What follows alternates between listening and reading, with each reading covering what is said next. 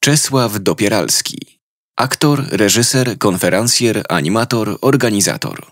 Urodził się 10 kwietnia 1939 roku w Chełmie. Tu od 1947 roku do 1954 roku uczęszczał do szkoły podstawowej nr 1, a następnie do technikum handlowego. 5 października 1983 roku został instruktorem teatralnym kategorii S. 1 listopada 1984 roku rozpoczął pracę w Wojewódzkim Domu Kultury w Chełmie. Prowadził kilka zespołów teatralnych w mieście, m.in. Teatr Sugestie w klubie spółdzielczym Niedźwiadek, Teatr 74 w Chełmskich Zakładach Obuwia, Teatr Temafor w Domu Kultury Kolejarza. Był organizatorem i kierownikiem wielu zespołów recytatorskich odnoszących sukcesy na arenie ogólnopolskiej. Z Teatrem Ziemi Chełmskiej związał się jako aktor w 1959 roku. Zagrał około 120 postaci. Zmarł 12 września 1992 roku w Chełmie.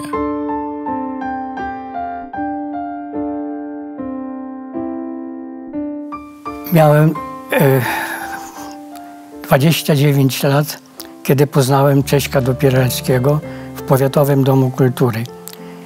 Przy opracowywaniu sztuki sublokatorka Poznaliśmy się y, y, po prostu, w- no nie był klub, tylko Cesiek y, prowadził y, y, te recytacje. No i w PSS-ie był taki, powstał y, zespół i między innymi ja tam recytowałam i tam żeśmy się poznali.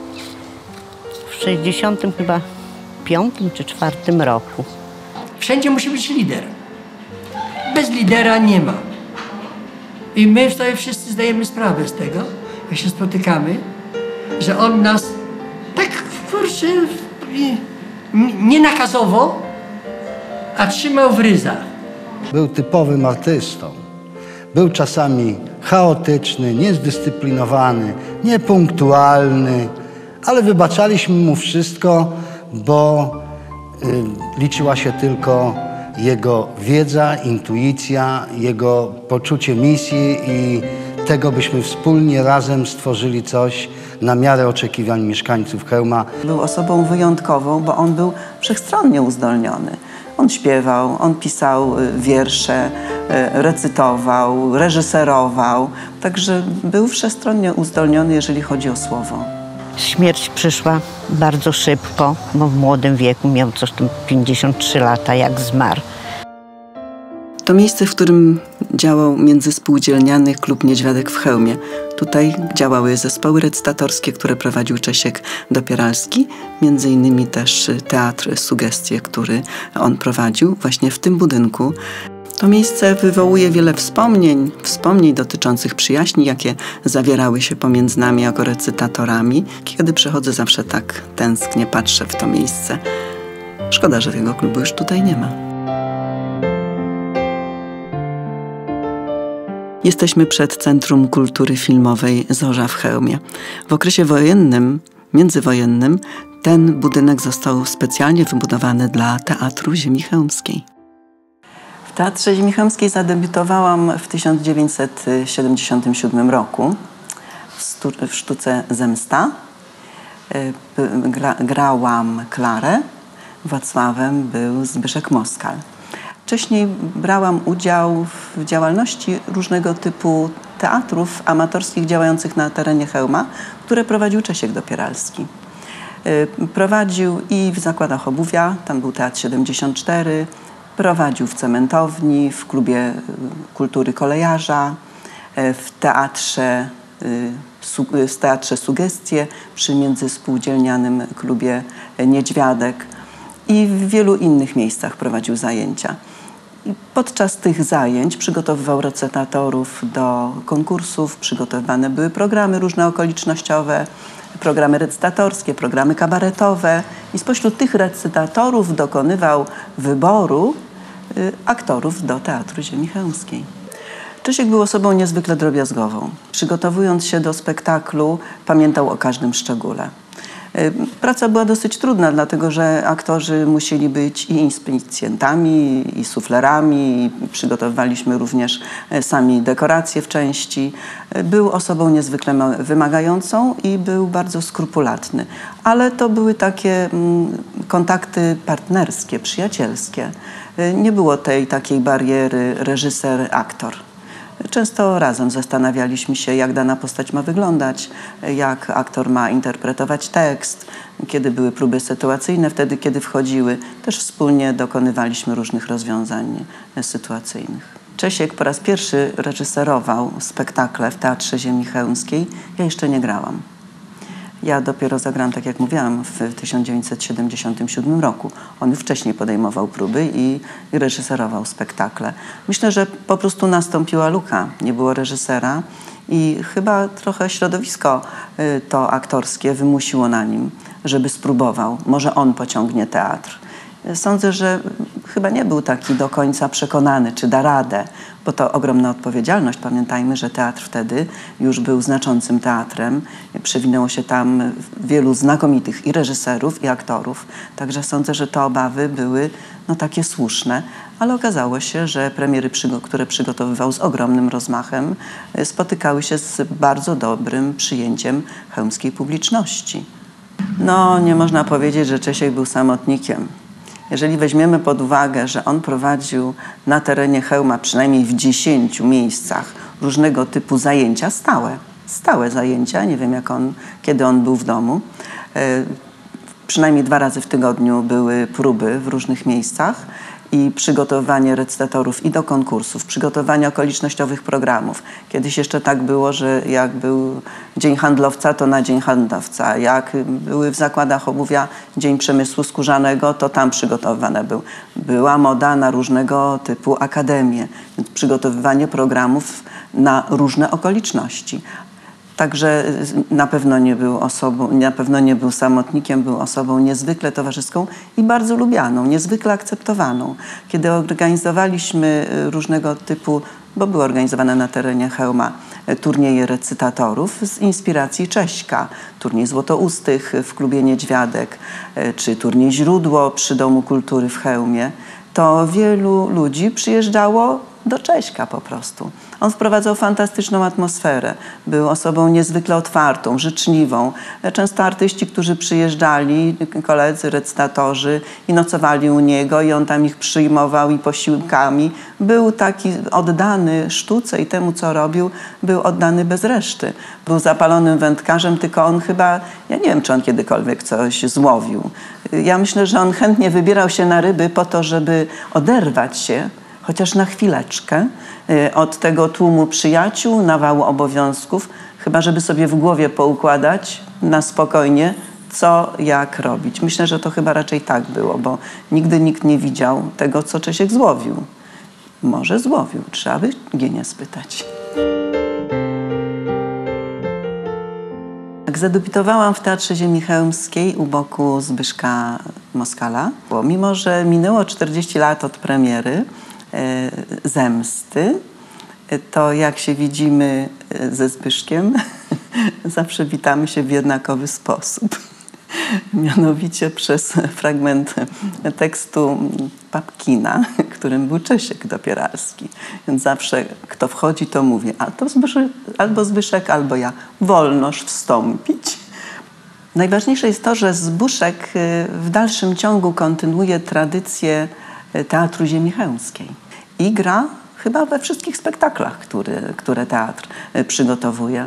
Pytałam jego, a nie boisz się Zbyszek, że, że nie nauczysz się tekstu, że coś zapomnisz? On mówi, słuchaj, ja idę na pierwszą czytaną próbę i mam tekst wykuty na blachę, bo mi wstyd przed tymi młodymi ludźmi, że mógłbym nie umieć, że mógłbym być nieprzygotowany. Tutaj była y, świetlica Hezametu, dawnych chełmskich zakładów metalowych. Na deskach y, sceny w tej świetlicy y, miało miejsce przedstawienie Marka Domańskiego Ktoś Nowy. Z nostalgią wspominam lata 70., gdyż wtedy byłem młodym, pięknym i przystojnym chłopakiem. Tam praktycznie rzecz biorąc odbył się mój debiut. Swoją przygodę teatralną rozpocząłem w Teatrze Ziemi Chełmskiej w 1972 roku ubiegłego stulecia. Y, rolą drugiego mularza w zemście Aleksandra Fredry. Ten angaż do teatru jako no, debiutant zawdzięczam przede wszystkim Czesławowi Dopieralskiemu, którego poznałem kilka lat wcześniej y, w warunkach stresu, wielkiego niepokoju. Jako, że spotkałem go, kiedy był jurorem konkursu recytatorskiego poetów ziemi chełmskiej. Czesław Dopieralski jako reżyser był twórczy, charyzmatyczny i bardzo, bardzo wymagający. Pamiętam sceny powtarzane po nie kilka, a kilkakrotnie, a może kilkanaście razy. Był także wielbicielem zdolno, y, zgodności y, tekstu sztuki z, ze słowem mówionym, padającym ze sceny. Bardzo rygorystycznie tego przestrzegał. Tworzenie teatru w warunkach y, amatorskich nigdy nie było rzeczą łatwą. Trzeba było przejść wiele i, i spotkać się z wieloma problemami. To oznaczało również okresowe braki finansowe, a często nawet ich zupełny brak tych środków. Dlatego zdarzały się przypadki występów teatru czy w obsadzie ludzi rekrutujących się statu ziemi chełmskiej w innych poza siedzibą właściwą. Znajdujemy się y, w atelier Ryszarda Karczmarskiego, byłej świetlicy chełmskich zakładów metalowych. Między innymi w tym pomieszczeniu odbyła się premiera sztuki Marka Domańskiego Ktoś Nowy. Mam oryginalny przed sobą oryginalny scenariusz tej sztuki typowego produkcyjniaka socjalistycznego, w którym y, Czesław grał główną rolę inżyniera Kukuły, a ja przychodzącego do pracy inżyniera Teklińskiego. Czesław tę sztukę wyreżyserował i zagraliśmy ją na maleńkiej scenie tej świetlicy może dwa, a może trzy razy. Czesław miał takiej amplua, bym powiedział, wiskomika właściwie, ale, ale doskonale odnajdywał się także w zupełnie innych rolach, również dramatycznych. Kiedy miałem z nim okazję grać w kilku sztukach, a niektórych z nich próbować, E, widziałem, że w każdej roli potrafi się swobodnie odnaleźć. Dla mnie zupełnym majstersztykiem i takim kunsztem gry aktorskiej był Babkin w jego wykonaniu. W każdym calu był e, jako e, aktor jakimś dla nas i wzorem do naśladowania, ale także przykładem solidności rzemieślnika. Zaczęło się to wszystko w 1956 roku w szkole, kiedy profesorka języka polskiego potrafiła zafascynować mnie pięknem słowa i samym teatrem. Moją pierwszą rolą, jaką zagrałem w szkolnym teatrze, była rola Krawczyka w bajce według scena Nowe Szaty Króla. To zafascynowanie teatrem i słowem pozostało do dzisiaj. Nigdy nie traktował się jako gwiazdy. Zawsze był normalnym, mm, zwyczajnym, mm, fajnym, kolegą, towarzyszem i kumplem. Kiedyś to się mówiło i, i do szabli, i do szklanki. Co prawda może nie to jest, nie jest bardzo adekwatne, ale był duszą towarzystwa, był wesoły, był kawalarzem. Niektórzy mówili nawet, że birbantem, e, lekko podchodzącym i tworzącym swoją nieznośną rację bytu. E, ale któż y, jest bez wad. Wszyscy go lubiliśmy, szanowaliśmy i kochaliśmy przez jego poczucie humoru i przez taką swobodę kontaktu. Oczywiście zdarzały nam się fajne premiery i bankiety po premierach. Pamiętam jego powiedzenie: Hurt ci w detal, moja miła, tyś przyczyną moich łez.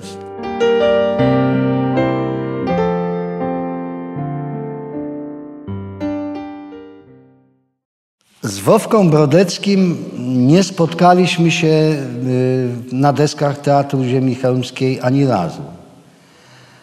Y, Pamiętam jego rolę y, z pozycji tylko chyba widza, a może już obserwatora czy, czy tego debiutanta w sztuce Szekspira Sen Nocy Letniej. Wowka już wtedy był oryginałem, legendą, a także przysposabiał się, a może już y, zaczynał swoją przygodę z teatrem y, w sensie profesjonalnym, zawodowym, y, szykując się do wyjazdu albo już studiując w Krakowie był wulkanem niepokoju. On po prostu y, nie mógł znieść bezczynności. To on był jednym z inspiratorów, oczywiście z Czesławem Dopieralskim, y, spływu y, taką tratwą teatralną na Bachotek. Tutaj, gdzie wy teraz się bawicie, tutaj był teatr w tym budynku. I ja w tym budynku bardzo, bardzo dawno bo jest, to był 59 rok, grudzień, a w marcu mieliśmy pierwszą premierę, taki śmieszny spektakl. Wiecie, jak się nazywał? Babcia i wnuczek. No właśnie. I ja zagrałem wnuczka. Czesiek niezwykle, e, niezwykle E, umiejętnie pracował z każdym z nas. Bo co jest? W amatorskim ruchu jest tak, jeden jest wstydliwy, nie nauczy się tekstu, e, ktoś jest, e, dykcji nie ma, ktoś no, jest, jest no, i teraz go wyprowadzić. I Czesik to robił, ach fo, ale osobno. Umawiał się na godzinę wcześniej, chodził na scenę, i tak długo chodził po scenie ze mną, aż ja zrozumiałem, że to jest takie proste. I naprawdę tak wyciągał najbardziej wstydliwych chłopaków, no bo no nie da się ukryć, że jak się przychodziło pierwszy raz, ja pamiętam jak miałem pocałować dziewczynę, to ja przerażony byłem. Czesiek y, stworzył jeszcze taką szkółkę dla e, młodych ludzi, którzy deklamowali, uczyli się, uczyli się recytacji. Bo powiedział, recytacja jest podstawą pracy dla aktora i za szkół najzdolniejsze dzieciaki przysyłali do Cześka i Czesiek wygrywał wszystkie konkursy w Polsce recytatorskie. Wymyśliliśmy tratwę, y, popłynęliśmy, zrobiliśmy spektakl o Koperniku, popłynęliśmy tratwą. To wydarzenie jest, y, w Polsce było wielkie, bo w przeddzień wielkiej rocznicy 500-lecia urodzin Kopernika my już byliśmy na tapecie, byliśmy w radiu, byliśmy w telewizji i płynęliśmy i y, sensacja była na, na, na, na tam, gdzie dopływaliśmy, graliśmy, było tak, zrobiliśmy tratwę, że była scena na tratwie że jak my dopłynęliśmy do brzegu, ludzie przyszli i myśmy zagrali na tratwie spektakl. I tak graliśmy. Czesiek grał, nie, ja grałem e, sędziego, bo to był sąd nad Kopernikiem. E, Czesiek był a, tym prokuratorem i jeszcze do tego był w habicie. Więc to była siła niesamowita. E, Danka była adwokatem, a główną rolę grał Piotr Wysocki, aktor teatru Osterny nasze potrzeby, myśmy zaspokajali właśnie w tym, że się spotkamy, zagramy, robimy, po każdym e, występie super bankiecik, luz zupełny, gorzałeczka również, nie powiem, i, czy jakieś winko. I to było no, fajne. Ja myślę, że kupa ludzi nas zazdrościło, ale mieliśmy mnóstwo kibiców, którzy przychodzili i kibicowali nam to takie bankiety, jakie Czesław potrafił zorganizować, to do tej pory e, moi przyjaciele w Teatrze Ludowym, Jacek Strama, który był teraz przeszedł na był dyrektorem przez lata, to mówi Wowa, hełm, a pamiętasz Cześka? Jurek Grossman to jest y, osobowość niezwykła. To jest artysta. Ale to artysta od początku do końca. W każdej dziedzinie. Bo i w teatralnej, e, Dzisiaj się mówi o tym, że czasami, e, że już Hamleta grają dziewczyny. W 59 roku robiliśmy próby w 7, i graliśmy w 60. On grał babcię. Także nikt nas nie wyprzedził. Teatr Michałowski to, to zrobił. I, i Jurek y, scenografię robił. Świetną. Przecież jak on zrobił karuzelę y, w, tym, y, w Babci i Wnuczku, gdzie każda scena była grana na obrotowej scenie, obrotowa scena, którą zrobiliśmy y, swoim jakimś pomysłem, Jurek to zrobił, to już, to już było wspaniale. Malował, robił afisze, robił zaproszenia. To wszystko i sam malował. O, to, był, to jest człowiek do dziś pracujący. Zapytacie Artura. Daje słowo, nie kłamie, ale było jak uleł. Sześć słów w tym telegramie. Zaczarowana dorożka, zaczarowany dorożkarz, zaczarowany koń.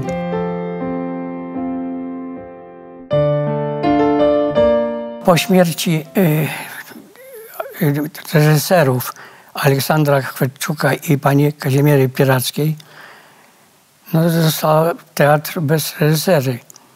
W związku z tym ciągle namawialiśmy innych, szukaliśmy, ale okazało się, że on jakoś tak przypadkowo znalazł się w Domu Kultury i, i przy tej występach jego w teatrze poezji skłoniło nas do tego, żeby mu zaproponować y, objęcie teatru. No on się zgodził, w tym czasie wystawiliśmy sztuki razem i od tamtej pory do, do jego śmierci to zajmował się teatrem ziemi chemskiej.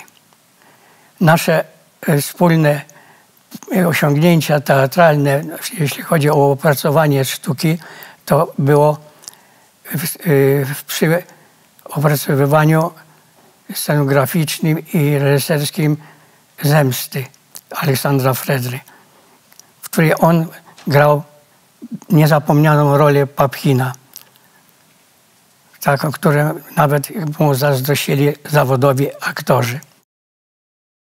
Tu, od, na scenie w Domu Kultury, to spędziliśmy od 1964 roku. Tu były grane wszystkie jego sztuki, które tutaj on wystawiał.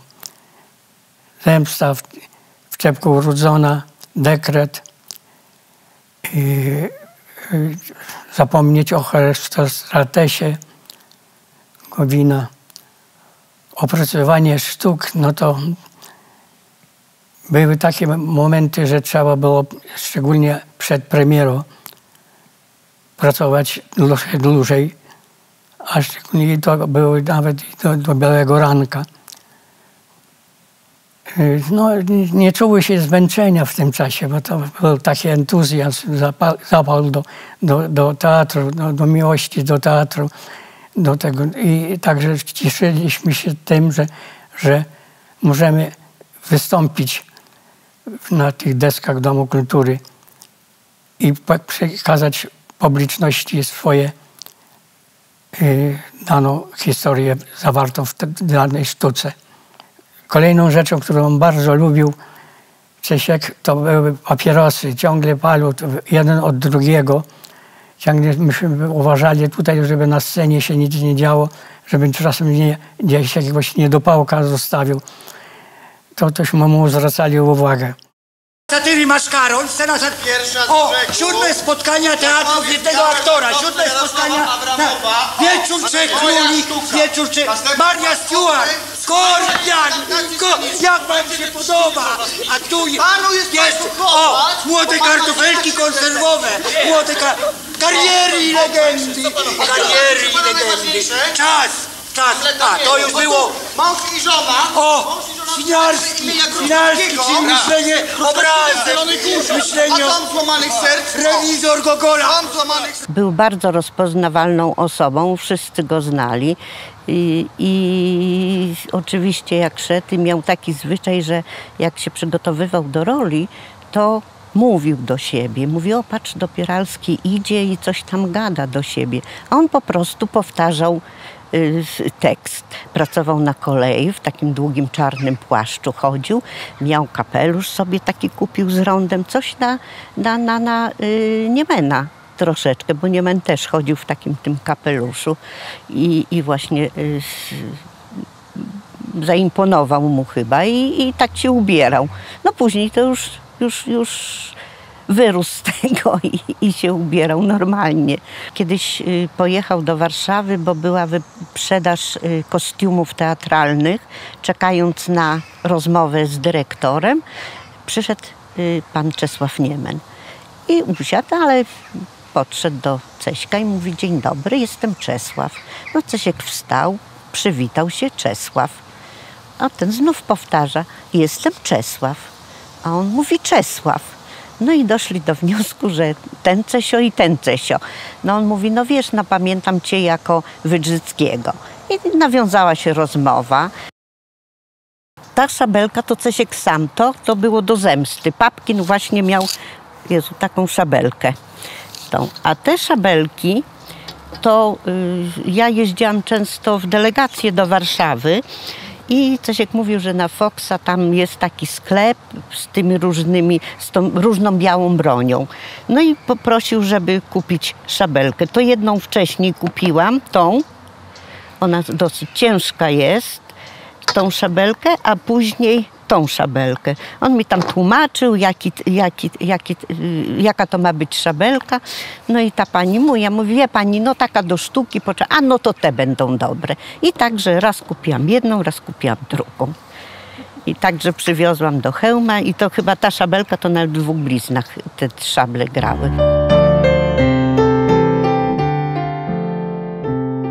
Jeździł na Stańków, jeździł na Bóg. Y, Miał y, kolegów, z którymi właśnie je, jeździł na, na, na te ryby. Czasem nawet przecież z Ela potrafiła wstać rano o trzeciej i z tatą pojechać, tylko ona siedziała na łódce albo spała, albo malowała jakiś tam obrazek. Do ostatniej chwili się zajmował tymi ludźmi, którzy u niego recytowali. Jeszcze był y, na tyle zawodowo, że y, pan y, Sawicki, który był recytatorem, to, bo w Lublinie miał operację i był w Lublinie, to przyjeżdżał na, y, po prostu na próby do niego. Teatr daje mi możliwość pewnego wyżycia się, daje mi możliwość wejścia w inny świat. Wciąż muszę iść i iść. Coś mnie naprzód gna. Może na zatracenie całkowite woła mnie głos mej duszy. Bez dna? Moim domem jest cały świat. Idę z uporem naprzód. Pokonam wszystkie przeszkody stojące na mojej drodze. A skrętymi uliczkami lat dojdę do celu mych marzeń, które się nigdy nie spełnią.